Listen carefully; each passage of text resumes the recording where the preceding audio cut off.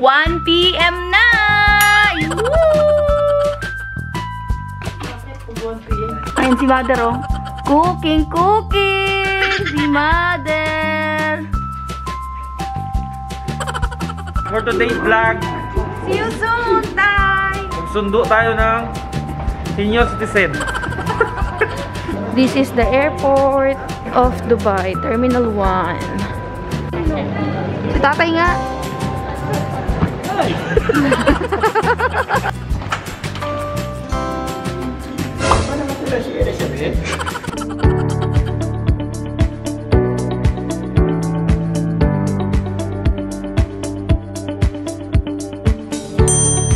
guys! This is Mami Joy in Dubai and welcome back to my channel!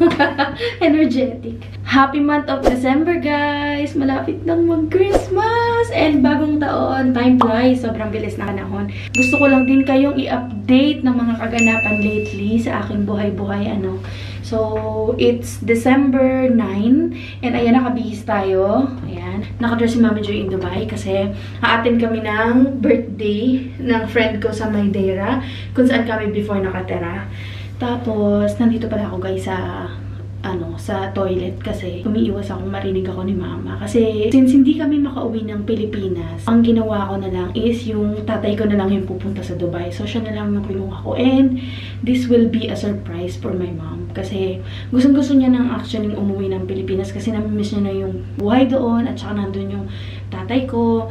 So, since hindi kami makauwi lahat, kasi nga bukod sa nag, na, di ba, pandemic tapos um, nag-lockdown kaya na stuck yung mama ko dito sa Dubai um, bukod doon mahal super mahal ng ticket kaya nag-decide kami na by July na lang kami uuwi.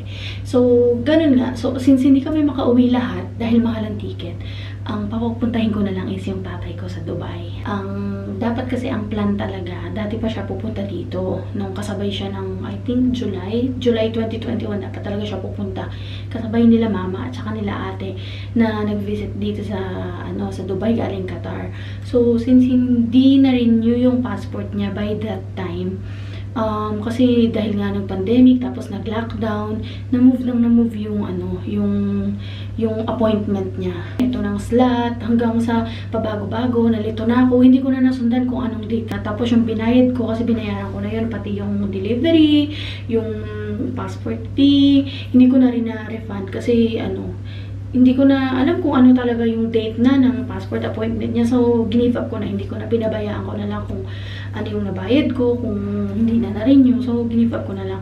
But then, naisip ko, uh, mag-holiday, mag-Christmas, ganyan. Tapos, hindi kasama ni mama si tatay na mag na mag-Christmas. Naisip ko na, why not, hindi ko na lang kunin si tatay na pumunta dito. So, um, nung October, to October nga ba o November? November, um, naisip ko yon Tapos, di ba may video ako na nagpapatulong ako sa inyo ng, sabi ko, sino may kilala sa DFA? Kasi hindi talaga ako guys makarenew ng passport. Talaga, ang hirap kumuha ng slot.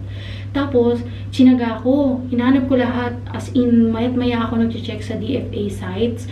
Sa Asiana, sa Manila. Tapos, minayat maya ako nag-check yung site. Hanggang, nakakuha ako ng slot sa SM Dasmariñas, yung malapit sa amin, yung city namin. So, good thing kasi malapit lang, hindi na ni tatay kailangan pumunta ng Manila. Uh, doon na mismo yung appointment niya sa mall. So, yes, it was November 17 yung appointment niya and um, binayaran ko na online, tapos binayaran ko na yung pa-rush. So, 10 days yung rush process nila. Tapos, November 17 nag-apply siya. Tapos, 26 yung nakalagay na release. Tapos, 29 yung delivery date ng November na dapat makukuha namin yung passport. But unfortunately, um, lagpas one week na hindi pa dumadating. Kaya, yun. Um, ang dami kong follow-up, ang dami kong calls, ang dami kong emails. As in, nag-feedback na rin ako, nag-review na rin ako sa DFA Dasmariñas. Kasi nga, talagang sobra talagang stress yung ano. Yung alam mo yun, yung iniisip ko baka hindi umabot ng Christmas, late dumating yung passport. But then, nung November 7, which is last Tuesday, nag-message yung sister-in-law ko sa akin na dumating na nga daw yung passport ni tatay. Sinend niya sa akin yung picture. Tapos, uh, the same day, pina-apply ako na siya ng visa. And today, December 9, dumating na yung visa! Approve na! So, tuloy na tuloy na si Father. So, ayun. um, sinend ko na rin kay tata yung visa niya, yung ticket niya, yung mga kailangan niyang ano, i-print. Bali guys, ang arrival niya dito sa Dubai ay December 18, which is uh, next Saturday. So, hindi alam ni mama guys na um, pupunta dito si tatay. Wala siyang idea actually.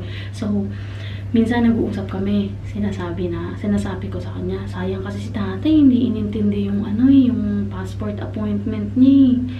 Dati pa kasi natin pinapa-apply, hindi niya inintindi, ganyan-ganyan, nagdadrama ako. Tapos, sayang, magka-Christmas pa naman, di natin siya kasama. Tapos may times na nagtatanong sa mama, ano nang balita, hindi pa nakapag-renew yung tatay mo ng passport? Sabi ko, di eh, ang hirap kumuha ng slot.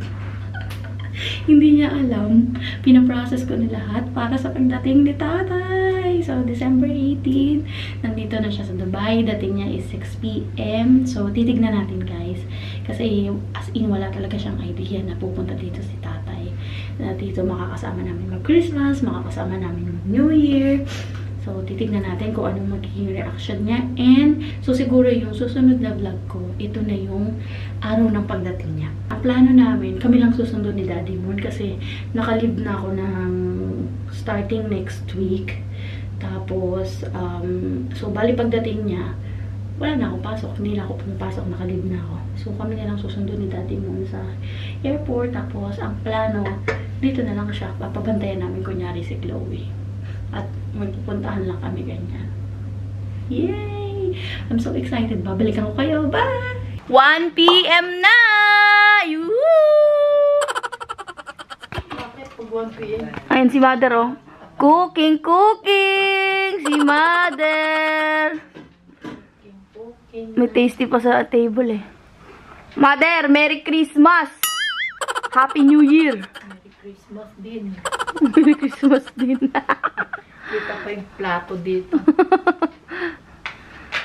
Mother, masaya ka ba Christmas sa Dubai? First time ko mag-Christmas sa Dubai. Hindi mo kasama yung sweetheart mo? Ay, ba? Ay ba?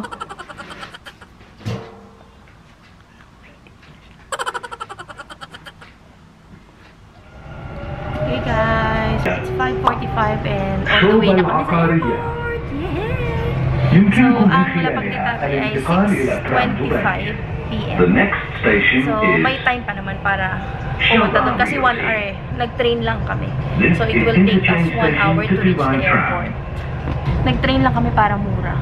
15 lang isa papunta doon. Kasi kung nag nag-taxi kami medyo mahal. Finally, today is the day na. Grabe. Sobrang ano pa ako, sobrang stress pa ako nung kagahapon ba yun. Kasi yung kahapon na flight, ano, na-cancel. So, talagang inaantabayanan kung makakancel ba or hindi. Cancel lang ano, tuloy ko sa app.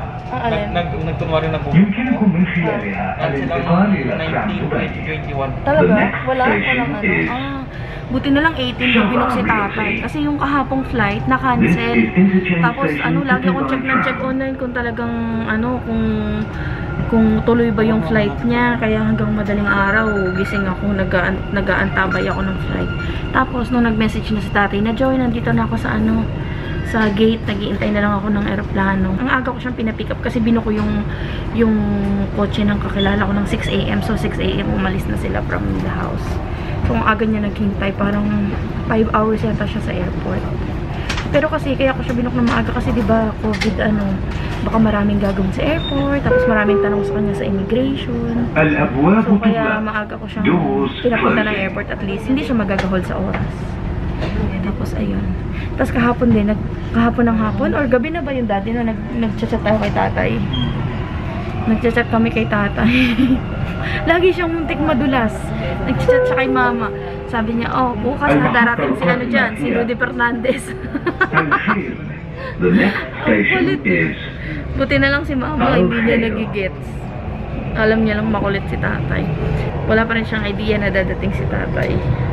Tignan natin mamaya kung anong reaction niya. Magne-Netflix lang muna ako kasi one hour pa ang biyahe. Bye!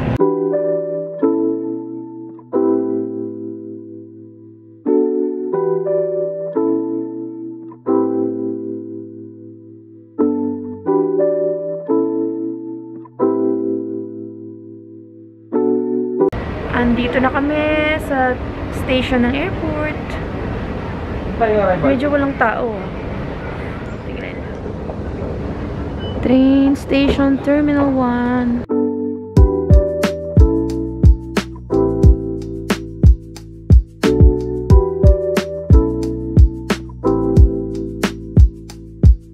For today's vlog, See you soon, Tay! magsundo tayo ng senior citizen. Age 64. 66 na. 66. Nakakuha kaya ng SIM card si tatay? This is the airport of Dubai, Terminal 1. Baka yung susunduin namin guys na una pa sa amin. lagi na lang pag susundo kami, lagi kami late. Pero matagal pa naman yun kasi magpapaswab pa yun eh. Wala pa nga. Duty free.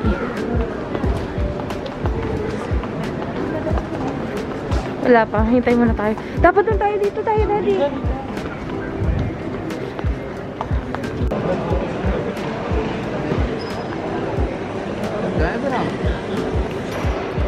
Wala pa si tatay. 30 minutes. So, nauna pa rin kami. Ako na nga sa umupo eh. 30 minutes na, hindi pa siya nakalabas. Hindi, nag-swab pa kasi yung daddy. Baka maraming tao sa immigration. A few moments later. Si tatay nga. Salam! Halika na tayo, labas ka na sa dulo.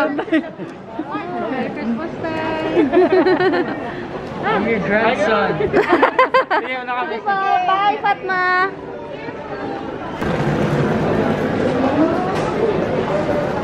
Welcome back to Dubai! ano tay? Kamusta? Wala, nandun nga eh. Ano? surprise namin. Ha? surprise namin eh, sa'yo eh. Ah, sinuwab ka? Binigay mo number ko? Ang aga mo sa airport na, tay. Pero tama lang, sakto lang. Na-delay yung flight mo pa, ano no, paalis. 20 minutes delay eh. Tatay is here. Pwede na ako tayo. Gusto mo mag-CR, tay? O, dyan. Sama ka kay Mon. CR muna sila. Excited na ako sa buko pie, guys. Ayan o. Parang galing probinsya si tatay, ah. Bigay sa akin dito. SIM card yan, ano yan? Free SIM card sa mga tourist para may magagamit kayo pag nandito sa Dubai. May nag-assist sa'yo pa swab test kanina? Sunod-sunod lang ako sa tao. Ah, tas sinuwab ka. Oo, lahat naman. Pila-pila. Mm. Tara na. Magta-taxi na lang kami pa uwi. Kasi si tatay pagod to. Tayo nakatulog ka sa aeroplano? May meron kang katabi, tay? May katabi ka? Meron? Sa aeroplano? Alam nga naman wala. Siyempre meron yun. Ah, hindi. Kasi nung inanok chinek-in kita, wala pa eh. Bakante pa yun eh. Puno ba kayo? Marami? Maraming pasahero? Alam mo tayo kahapon, buti hindi kita kahapon binuk. Cancel yung flight kahapon eh. Daming cancel. Yung nag-isa lang sa'yo, 18. Ah, pinapapunta ka na talaga dito. Sa. Tay! Tay, yung aeroplano mo may TV? May screen? Ah, meron naman pala Dalawang daddy. beses siya kain eh. Dalawa, masarap naman pagkain nyo. Manok tsaka baka kinain ko. Manok tsaka baka. Let's go! Very Going very home. Very, Very good. Very carefully. Very carefully. Don't, don't keep. Don't, I, I see work, I see. I see his work. see. yeah, working, working. What about my mic? No. It- That side leg. Lang po. English na siya, oh. Ay, tay, ay, pero mo. more, more, more. Wala, muskila, papi. More, more. More, my boss, more. Yeah, it's okay now. It's okay na yan. Karlan, sabihin mo tayo. Okay, my grandfather. My grandfather. Sumulit ako, may kasama. Anak, nasa elevator na kami, ah. Nagbigay sa akin. Bye-bye. Woohoo! So, surprise namin si Mother! Salamin kaya ako. Para kaya madilim. Huwag na, ganyan na lang. Gabi na, salamin. Salamin Huwag, tayo huwag kang magsasalita kapag nasa hallway na. Maririnig ka niya.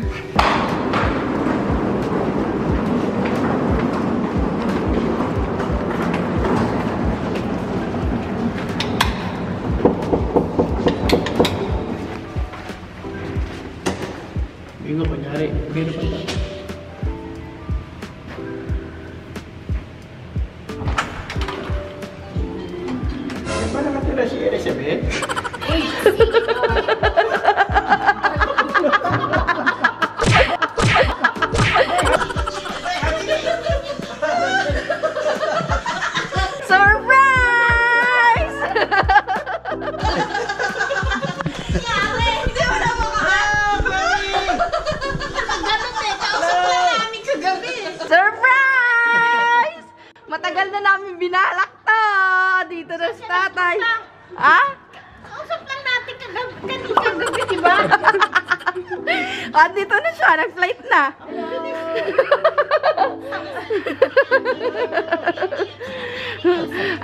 Na-surprise ka ba? Ang ganda ng regalo namin sa iyo, ha? Fresh from the Philippines yan. Dito ba nakatira si Elizabeth? Narinig niya nalaman niya. Hindi mo na makaan? Alcohol ka muna. Chloe, that's grandpa. Palit ka muna damit, tay. Hi, grandpa. Hi, grandpa. Wala, susundo. Hindi susundo. Hello! Come, come! Ano mo dang? It's a prank! Nagulat siya. Bless the grandpa. Tal, tal, tal! Hey! Wishes! Bless the grandpa, bless! That's grandpa, Chloe. Bless! Bless! Tay, ganun mo kamay mo. Magbe-bless yan sa'yo. Oh, bless grandpa. Oh, bless, bless, bless, bless. Bless the grandpa na. Oh, yeah! Lalong namuti si Chloe. grandpa! Grandpa has a toy for you, Chloe. Wow! Hindi ka nakahalata, nadudulas kaya siya kahapon. Sabi niya, Rud, ano ah, pupunta niya si Rudy Fernandez, you soon. Tapos na nag-message siya sa'yo, sabi niya, Ma, i-ano mo nga kay Joy yung swab test ko. Sabi ko, Tay, ba't ka nag-message kay Mama? Buti na lang sa akin pinabasa. Nako. Hindi nakahalata si Mama. Gabi na. Akala mo talaga, hindi ko yan, dalawang yan. Grabe, ang dami ko palang nabili sa Lazada. Lazada Budol. Uy, grabe, ang dami kong ano. Asan na yung tulong natin? Si mama walang kasalubong, wala, hindi niya alam kung pupunta eh. Kaya tinatanong kita, Ma, may gusto ka bang pabili? Ko, papadala mo kay Jenny. yung pala, si tatay mo pupunta rito. Ayun yung tuyo. Si Chloe, oh, nakaabang na rin sa laruan niya, oh. Tinigilan niya na yung pagdede. Ko. Wow! Chloe! Chloe! Where's your Peppa Pigs? Where's your Cocomelon? Where's the other Peppa Pig? Hey, Daddy Pig. Where's the Mother Pig? Mami, Mother Pig. Mommy Pig pala.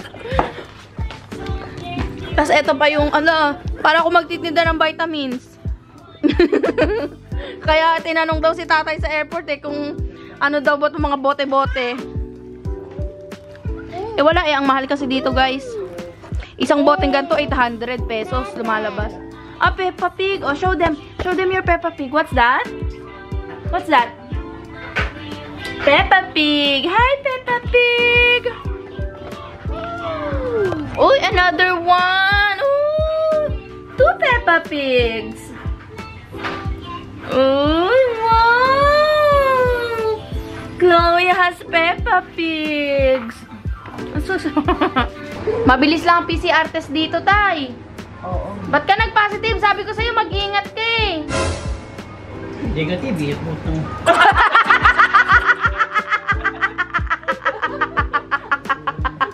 Kalokohan nyo. Pinadala yan yung una eh. Hindi, ito yung PCR test mo kanina. Negative. Ang bilis na result. Oh, say bye na! Bye, vlog! Ay, talaga. I-post mo. Na, na-prank si mama, oh. Bye! Welcome to Dubai! Thanks for watching! Bye-bye! si mama parang malungkot. Malungkot ka ba, ma? Nabigla lang ako. Kasi kagamo, kausap lang natin. Yung pala, dito na. Ay, surprise! Surprise! daddy, nagluluto na. Bye guys! Thanks for watching!